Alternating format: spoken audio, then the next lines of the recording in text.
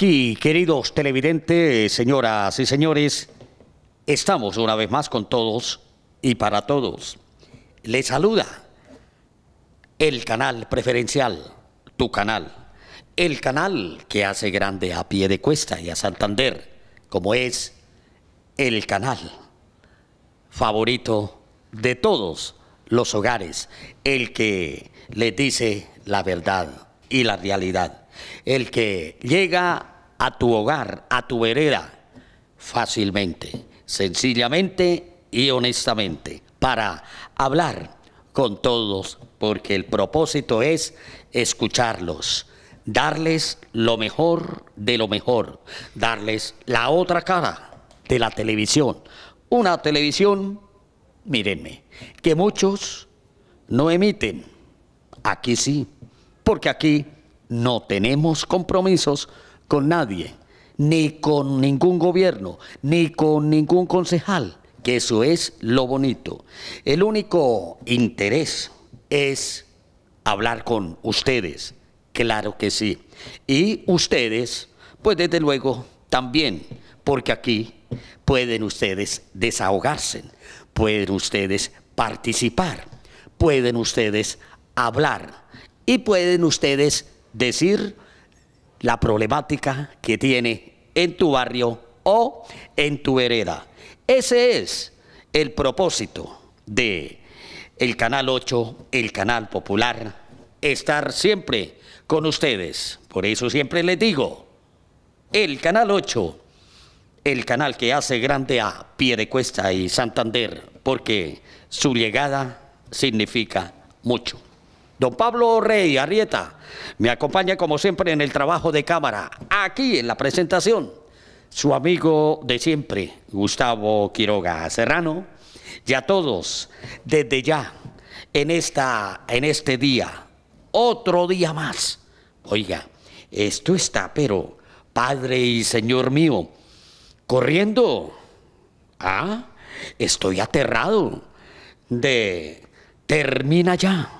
Ya, se está despidiendo junio.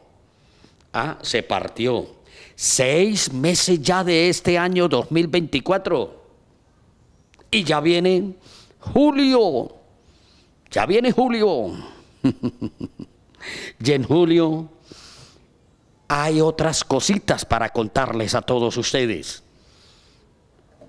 Y viene agosto y terminó el año. Porque en septiembre, en dos meses, están ya promocionando y están ya todos vinculados a los ingredientes, a la vaporización de Navidad y Año Nuevo.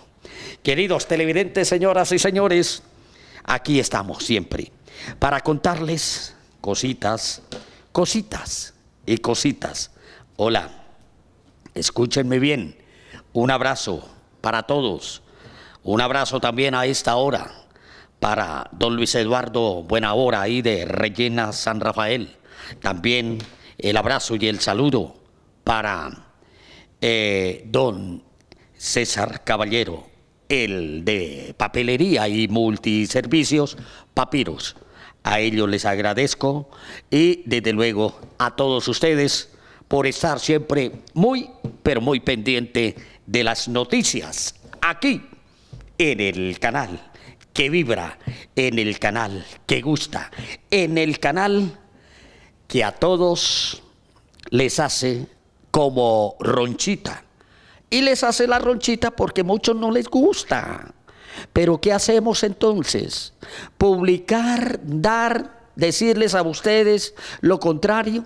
No tiene sentido, no tiene gracia. Claro, aquí somos transparentes, aquí somos originales, que es lo bonito, lo más hermoso y lo bello. Hola, voy al palpitar de las noticias. Sigue. Estas noticias que le voy a dar son noticias nacionales, pero que se ha destapado mucho el cofre. A están flotando, están saliendo las noticias a flote, nacionales, claro, pero yo siempre les digo a ustedes, y muchos me agradecen, porque acá les doy la noticia diferente, claro, aquí yo no tengo por qué quitarle y ponerle para que se vea y para que se sienta bien la noticia.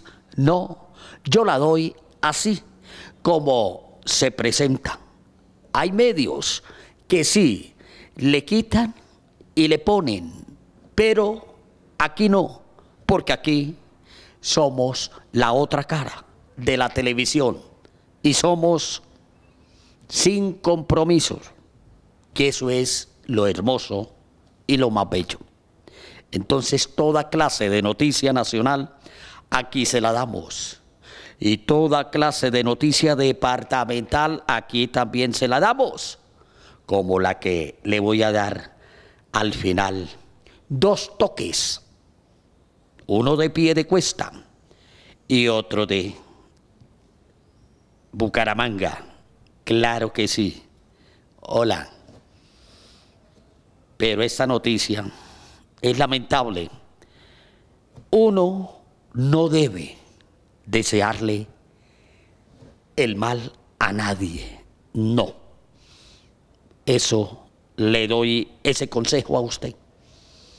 No se alegre de su compañero, del que fue su jefe, del que fue su compañero cuando estaban trabajando ahí en el gobierno y que ahora de pronto se dividieron. Ahora ambos se aislaron, uno por un lado y otro por otro lado. Pero así son las cosas. Pero uno tiene que tener siempre, por encima de todo, el respeto. Mm.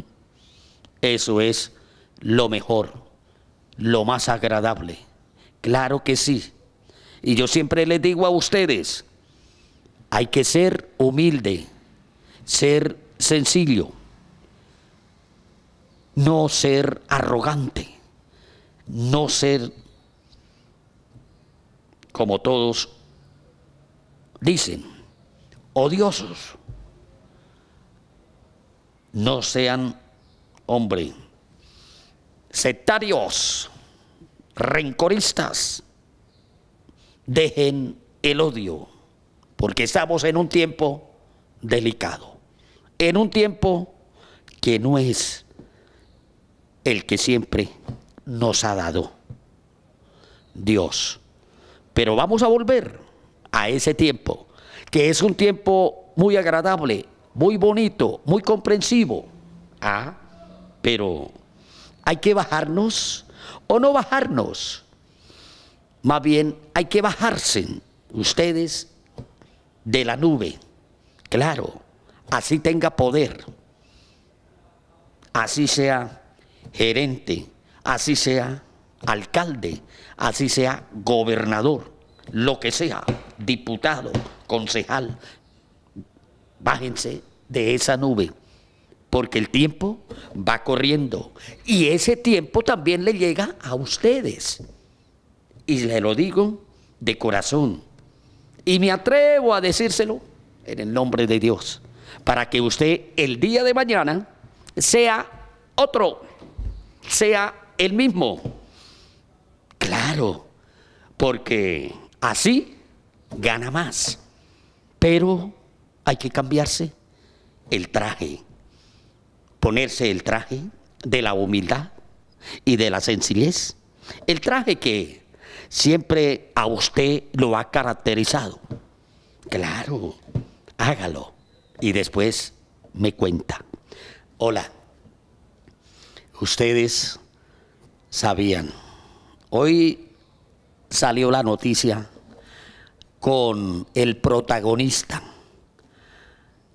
Ustedes saben que ahora ha aumentado mucho la corrupción. Y a medida que va aumentando la corrupción, porque hay que decirlo así abiertamente, yo lo he palpado, yo lo he notado, en este gobierno donde se denominaba, se decía que no era un gobierno corrupto, que era un gobierno donde odia la corrupción y donde iban a mostrar la transparencia. Mentiras. Al contrario, en este gobierno, y no tengo nada en contra de el doctor y el presidente don Gustavo Petro Urrejo, no tengo nada en contra de él. De pronto no se le están dando las cosas. De pronto los asesores pues no le han dado con el chiste. No se han mostrado, no han hecho nada. Pero muchas veces no son los mismos asesores, los mismos ministros. No es del propio gabinete. Muchas veces es por parte de la persona que no le gusta cambiar, que no le gusta escuchar, que no le gusta dialogar, que no le gusta ceder que no le gusta ser humilde, ser sencillo. Hay que entender esas cosas. Y es por eso que estamos como estamos. Por ende es que el país está como está, lleno de violencia, cargado de grupos criminales, terroristas. a raíz de que flotó ¿Y eso que Faltan dos años de este gobierno de el doctor don Gustavo Petro Urrego. No tengo nada en contra de él. ¿Mm? Pero que le deseo es lo mejor de lo mejor. Que abra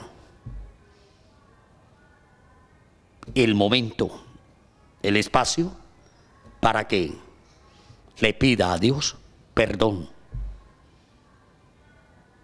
para que le pida a Dios, ojo, sabiduría, entendimiento, para que pueda así, en este tiempo que le resta, que le falta, en estos dos años, para que sea otra Colombia. No importa que en dos años vimos otra Colombia una Colombia llena de criminalidad, llena de corrupción, llena de terrorismo, llena de secuestradores, llena de violencia. Pero hay tiempo para eliminar esto. Darle clic ahí y borrar eso vestirnos de púrpura, de un traje más bonito, de un traje más elegante, más visto. Claro que sí, pero depende de usted y depende de usted que es asesor y depende también de ustedes. Logren convencerlo de que sí se puede Hola.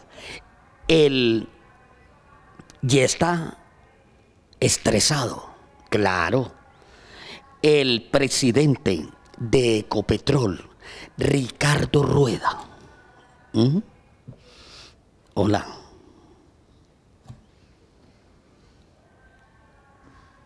Le mandaron,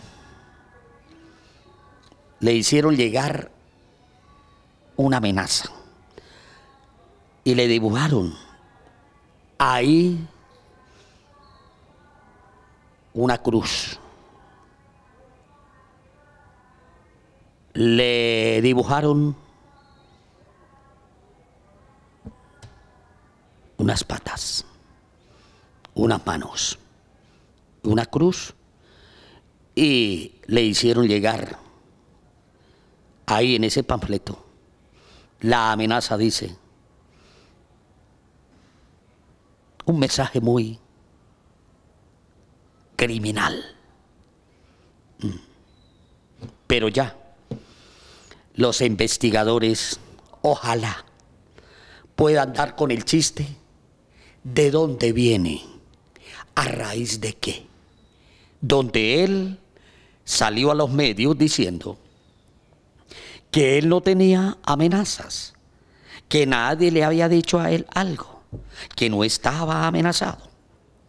No le había llegado ningún panfleto, que estaba tranquilo y que tampoco había sido por trabajarle, dirigirle, gerenciarle la campaña a Gustavo Petro, ah, donde los resultados de la financiación fueron otra cosa. Y él dice que no. No sé. La verdad es que hay muchas cosas para analizar y hay muchas cosas para pensarla. Pero cuando uno se sienta a pensar y a dialogar que sí es culpable, pues entonces uno tiene es que confesarse no ante el hombre, sino ante Dios. Claro, encerrarse en un cuarto, arrodillarse, pedirle perdón, meditar. Claro, mas no con el hombre, no, porque el hombre puede ser más pecador que uno. Lo invito es a que reflexione, pero lo cierto es que ahí está Dios que todo lo puede. Dice Filipenses 4:13, todo lo puedo en Cristo que me fortalece. Entonces, ahí le dejo este mensaje. Vamos a ver. Lo cierto es que le aumentaron la seguridad al presidente de Ecopetrol, Ricardo Roa, por este panfleto, por estas amenazas que le llegó a la oficina. Queridos televidentes, señoras y señores, estas son noticias no agradables. Son noticias desagradables, estresantes, pero que toca avisarlas. Claro que sí. Uno no puede callar esto. Hay que saberlo decir. Estos mensajes porque son bastante delicados. Entonces uno tiene que buscar el formato para decirles a todos ustedes estas noticias. Vamos a ver, esperamos que la Fiscalía, la Procuraduría, todos trabajen sobre esta investigación. Queridos televidentes, señoras y señores, es el Canal 8. Somos la voz de la comunidad.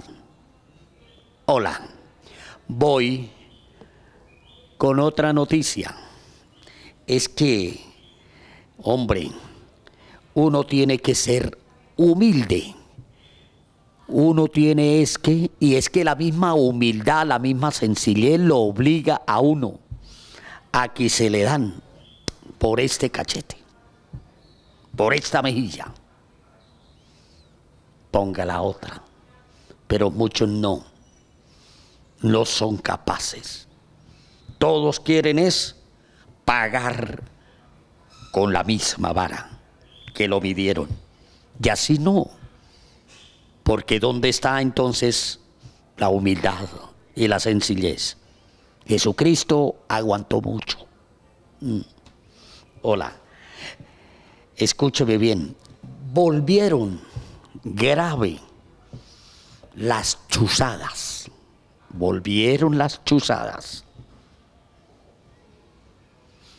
Pero ahí el gobierno tiene parte, claro que sí, pero muchas veces los mismos ministros que ya ellos conocen cómo hacer estas chuzadas, pues entonces la hacen.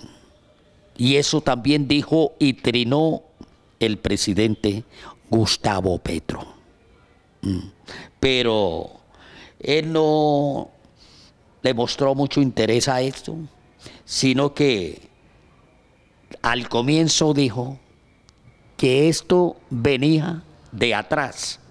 Quiso decir que de los que habían ya gobernado. Ustedes saben que cuando estaba el DAS, ahí se vio, se vivió muchas chuzadas. Y de ahí salió mucha violencia. Entonces, lo único que dijo, porque ahí está muy molesto, muy molesto, la Corte Suprema de Justicia. Y queridos televidentes, señoras y señores, me di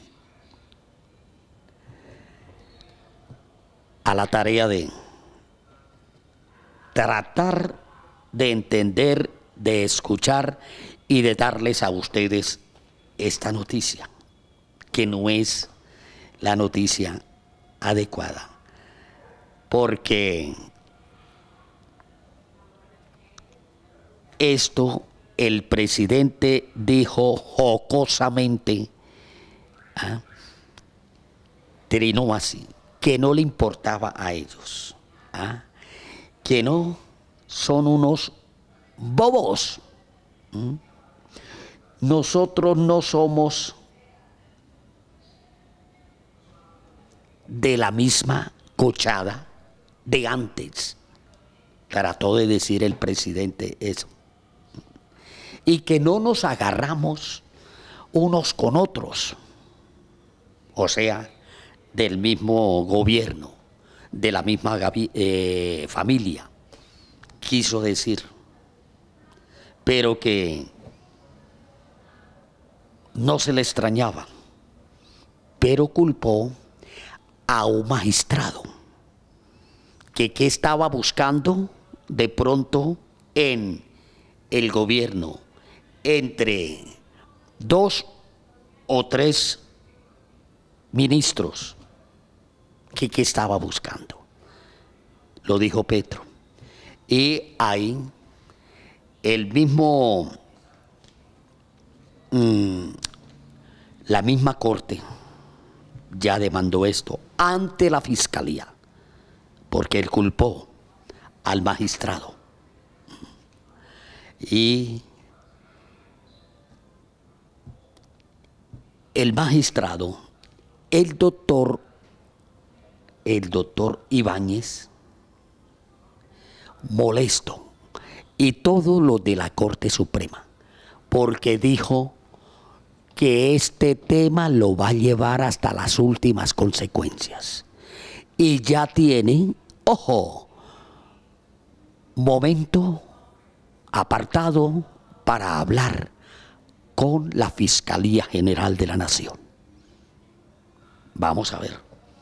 Eso dijo el magistrado Ibáñez, donde hubo amenazas.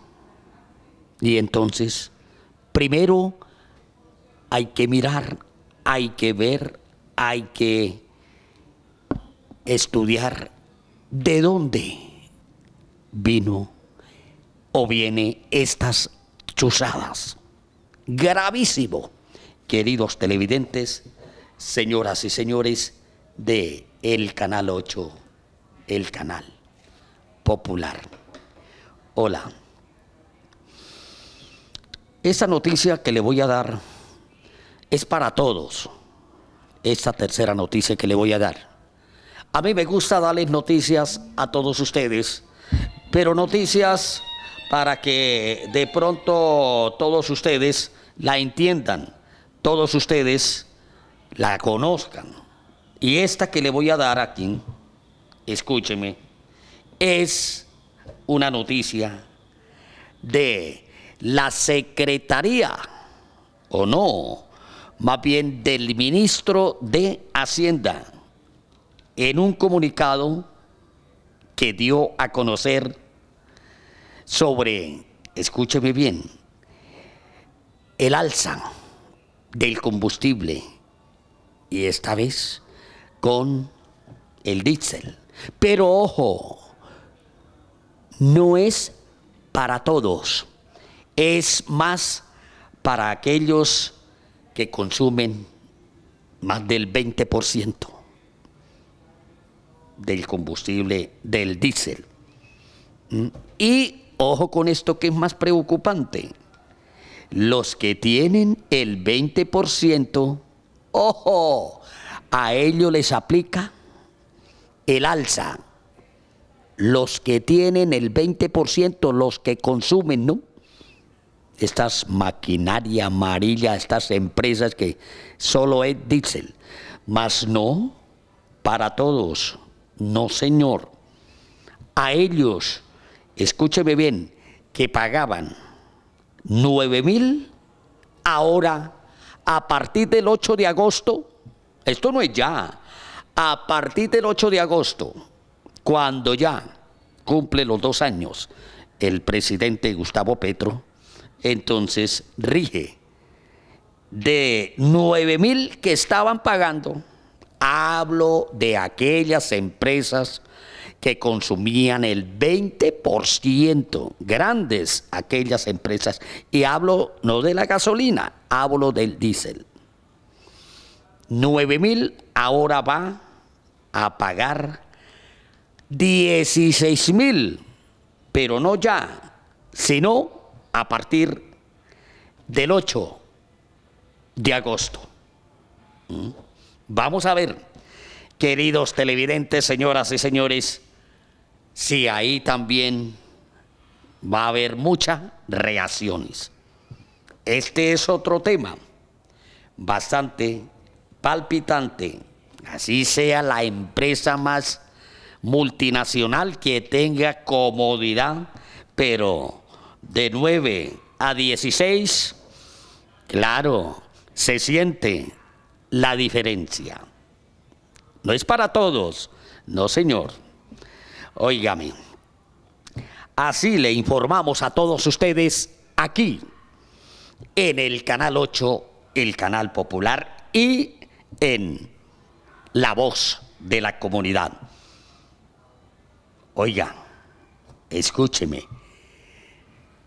Esta noticia, esta, esta otra noticia, el gobernador de Santander, el gobernador de Santander se percató, claro, no que se necesita platica, y hay mucha platica por ahí que está represada. Y ahora con el plan de desarrollo, entonces hay que mirar cómo crece Bucaramanga, Santander, los pueblitos, porque para allá también hay obras, claro. Entonces, se necesita. Platica también. Lo que pasa es que el gobierno también le aporta, claro, el gobierno nacional. Pero es que todos piensan es, y me perdonan si ya sí les hablo y así les digo, porque así es. Todos están acostumbrados a robarse todo el presupuesto. Y entonces, no, aquí no vamos a decir, hombre, que es transparente, que no le gusta la corrupción. Oh, hombre, esas frases dejémosla a un lado, porque si la traemos acá, entonces nadie va a creer. Claro, hombre, por Dios. Ay, entonces va a ser un gobierno transparente, digno. Ah. Ojo, porque estamos viviendo en unos gobiernos más corruptos que lo de antes. Oiga, y entonces, escúcheme bien. Para todos aquellos vehículos que están rodando, escúchenme bien, en el país, pero más en Santander, porque aquí en Santander hay muchos que no han pagado el impuesto no han pagado el impuesto. Entonces, eh, la oficina de principal la del mayor recaudo. Entonces, está analizando y está estudiando esto para poder de ahí recoger una platica y entonces aquellos deudores morosos que deben, escúcheme bien, hasta 8 y 10 años tienen la oportunidad de acercarse a la oficina del libro, ¿ah? ¿sí? en Bucaramanga, para verificar bien, para que le alimenten más la información. ¿Cómo va a ser el descuento? Y le estoy hablando de aquellos que hicieron el traspaso, pero que lo dejaron abierto, no lo cerraron. Y entonces están figurando también en data crédito, pero no han pagado, están en deuda. Y llegó la oportunidad, y esta oportunidad la tienen hasta el mes de octubre, hasta el 31 de octubre, que es también el día del Halloween, el día de los niños. Claro que los gobiernos hacen el día de los niños en abril, en septiembre, en fin, hacen como tres eventos para el Día del Niño, pero en sí, el 31 de octubre es donde comercialmente y todos celebran el Día del Niño, no el Día de las Brujas, no, sino el Día del Niño. Celebración del Día del Niño, que quiere y significa mucho. Celebración para el niño. No vestirlo de guerrillero, no vestirlo de policía, no vestirlo de soldado. Con eso no quiero decir, escuchen bien, porque de pronto me interpretan mal. Con eso no quiero decir que como todos, el papá es policía, el papá es soldado, teniente, coronel, en fin. Entonces, todos le compran al niño el traje de policía o el traje de soldado. Pero con eso no quiero decir que es que la policía es criminal, que es que el ejército, que los soldados son criminales.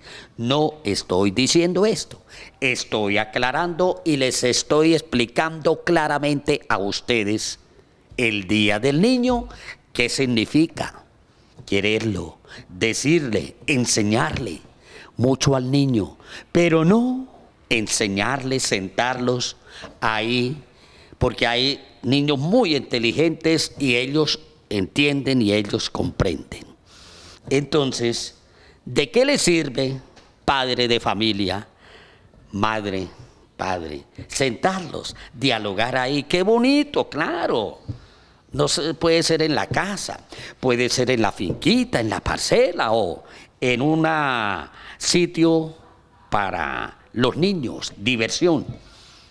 Ahí, sentado también, al lado de papá, al lado de mamá. Y si son dos, mejor todavía. Si es una niña o si son dos niños, mejor todavía. Pero ¿qué sacan con decirles lo mejor? ¿Para dónde va? ¿Hacia dónde está su futuro? Claro, y el niño con la inteligencia y la niña con inteligencia porque ven en usted es que el ejemplo, transparencia, eso es lo bonito. Y de ahí el niño aprende. Eso lo toma el niño, la niña, como espejo. Miran a usted y miran a usted. Y como son padres formadores de lo bueno, padres transparentes, entonces ellos pues también cogen ese camino de lo mejor. Pero ¿de qué les sirve al niño. Hay muchos que no les gusta el traje. A la niña, ¿de qué le sirve? Comprarle, ponerle, lucirle un traje de lo que le acabé de decir, de policía, de ejército, de soldado. ¿De qué le sirve? No, donde todos, hasta los mismos niños, saben y conocen. Hombre, cuando hay criminalidad, cuando hay sangre inocente derramada por todos lados, el niño entiende y el niño comprende. Entonces, no hay como en el día del niño llevarlo. ¿Qué quiere, papito? Mamita, ¿qué desea lucir? Ojalá que fuera siempre para todo el año, no para un rato, ni sacarlos, porque mucho niño entiende y comprende. Los niños son inteligentes, muchos no. No salen a pedir caramelos. No. Entonces, qué bonito que los niños hayan entendido el mensaje y los niños, a usted papá y a usted mamá, les dé ejemplo. Alabado sea el Señor. Eso es lo bonito. Queridos televidentes, señoras y señores. Hola, escúchenme bien. Entonces, ahí en la Casa del Libro, en Bucaramanga, ahí también hay información para que usted se acerque, aproveche el descuento para ponerse al día y para que pague. Esto, escúcheme bien, le aclaro, no tiene nada que ver si usted debe dos, tres, cuatro años que le cogieron su vehículo, le cogieron su moto, no tiene nada que ver con tránsito, con comparendos, no señor. Esto es muy aparte, no tiene nada que ver. Esto es deudores morosos, impuesto anual del vehículo que usted tiene. Y ahí en la casa del libro, ahí hay mayor información para que usted vaya, aquí en Bucaramanga, ¿no? Vayan, averigüen bien. Y el plazo que tienen, que les repito que es hasta el 31 de octubre de este año. Y para que se ponga al día, hay un buen descuento, el 80%. No hay como estar al día siempre, porque lo más bonito. Ahí es donde uno puede vivir tranquilo, contento, feliz, cero deudas. Mm. Yo lo invito a esto. De manera pues, queridos televidentes, señoras y señores, vamos a ver. Esto es comunicado que sacó la gobernación de Santander. Claro que sí, porque hay, mejor dicho, miles de vehículos que tienen todavía ahí su deuda. Y es mejor.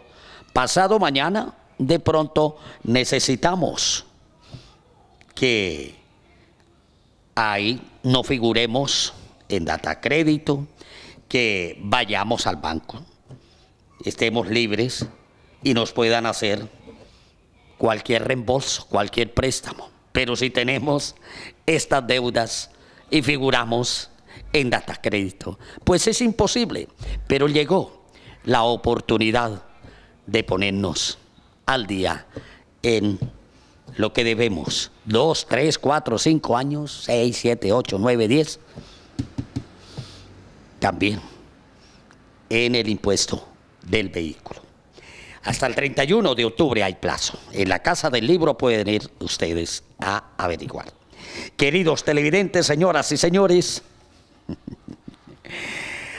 así trabajamos para ustedes y así le explicamos a ustedes para que entiendan bien las cosas como viene rodando el país. ¿Qué están haciendo los gobiernos, tanto nacional, departamental y municipal? Voy con esta que es otra noticia nacional.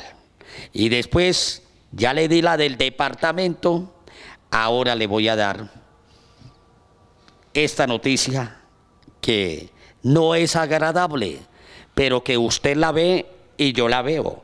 Pero usted que está aislado no conoce nada, piensa que el país está bien en todo, está marchando, que no hay violencia, que no hay criminalidad, que no hay secuestro, que todo ya se solucionó.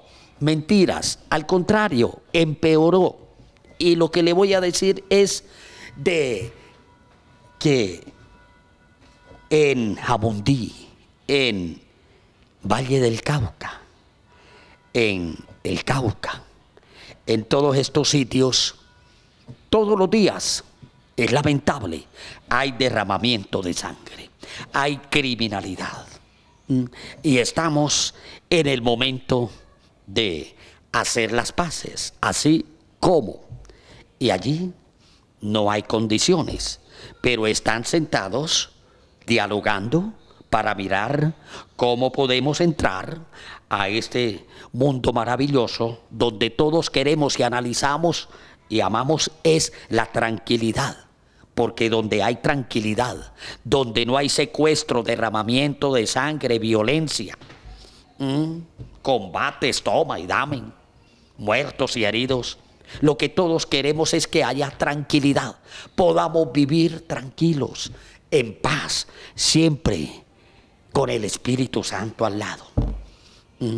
Y eso es lo que de pronto nosotros, claro que sí, anhelamos y queremos. Pero es que hay el momento de que están ahí sentados, están dialogando y mire, ¿qué es lo que están dialogando? ¿Cuál es el modelo de paz que queremos, hombre, o que el gobierno nos ofrece con estos grupos alzados en armas, violentos, criminales? Que ellos lo que quieren es, disque, entrar a la civilización, a no ejercer más estos cargos de violencia, de atracos, de robos, de tortura, de quemarropa, lo asesinan así, de niños, adultos, en fin. Eso es lo que siempre anhelamos y queremos. Y eso es lo que yo siempre les digo a ustedes, hay que pedirle mucho a Dios. Y entonces la perdón, la gobernadora ni de Francisco Toro, la mona, le pide al gobierno nacional, al gobierno de Gustavo Petro Rego, que por favor los escuche, les ayude, les dé una manita, porque no son capaces ellos solos de frenar esta criminalidad, esta delincuencia, este derramamiento de sangre, estos secuestros, estos enfrentamientos ahí en medio de la niñez, que todo mundo sabe y entiende qué es eso. Ah, y eso es estar en guerra, matándonos unos con otros. ¿Mm? Entonces, la gobernadora del Valle del Cauca, el alcalde, en fin, todos, le piden al gobierno nacional que por favor los escuche. Padre y Señor mío. Hola, escúcheme bien. Triste la situación. Bueno, esa noticia se la di prácticamente ayer, ¿no? Mañana de pronto le doy otras noticias, pero todos los días salen el palpitar de las noticias. Y ahora, con la comidita, ahora los amigos también, los cosechadores de la yuca, en crisis también. Ellos siembran, pero son tierras ajenas. Y le piden al gobierno también, ahí tienen como cinco mil mm, cargas de yuca y le pide al gobierno que le ayude o que se las compre el gobierno, porque ellos están en una crisis y que las tierras donde ellos cultivan la siembra no son de ellos, son de segundos y terceros. Mm, esta es otra calamidad. Pero el gobierno nada que cambia su forma de ser. Hay que dirigir la mirada hacia allá. Hay que dirigir la mirada hacia donde está la pobreza, la necesidad. ¿Mm? Porque se habló mucho de ayudar al campesino, hasta de darles tierras a los campesinos, pero ni tierra, ni cultivos, ni nada.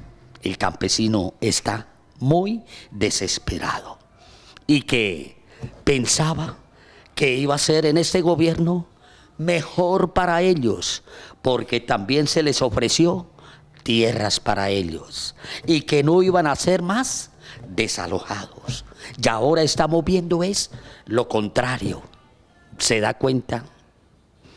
Maldito el hombre que confía en el hombre.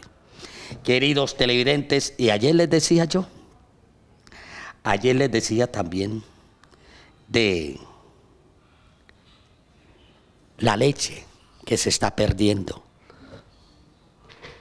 ni regalada, la quieren, le tocan botarla, qué pecado.